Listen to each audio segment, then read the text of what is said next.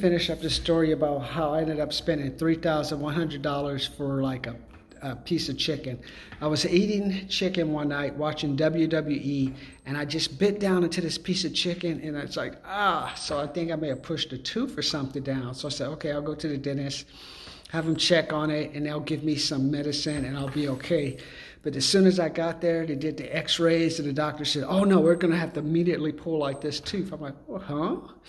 Oh yeah, I told that other dentist to do it a couple of months ago. He didn't do it, so he's like set up the emergency dental surgery.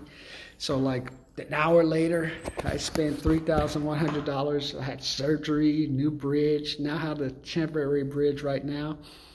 All of that is because I didn't even want to go to the dentist's office, but I bit down and I thought this one was here. It's like a big pain, so I thought, oh maybe this is the one I don't have to come out or just get some minor surgery or root canal. Ended up taking out this one here, $3,100. Subscribe, subscribe, subscribe.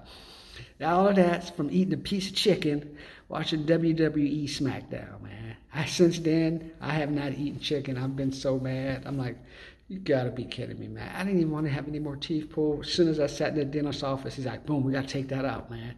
So that's how I ended up spending $3,100 on a piece of chicken. I don't eat chicken no more, man. Especially chicken with bones. Later.